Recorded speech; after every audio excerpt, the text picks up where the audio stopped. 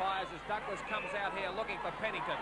Pennington takes the mark and has nowhere to run and looks for Cleary, but Wilkinson's going to come in and he's met heavily by Cleary, but the ball comes down to Bradby. Bradby looking for Kavanagh, his poor player, and puts him under the hammer, and Wilkinson is really shook up as uh, the kick has come out to Brendan Kavanagh.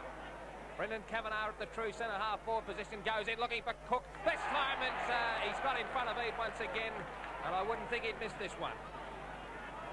Changed his game and got in front of Eade, or as Ray Shaw says, uh, was probably uh, doing all the damage by getting in front of Cook, but this time Cook is coming right back, and I wouldn't think he'd do the same thing again. Concentration plus this time as uh, he puts it through this time for his first. So uh, through Port Melbourne.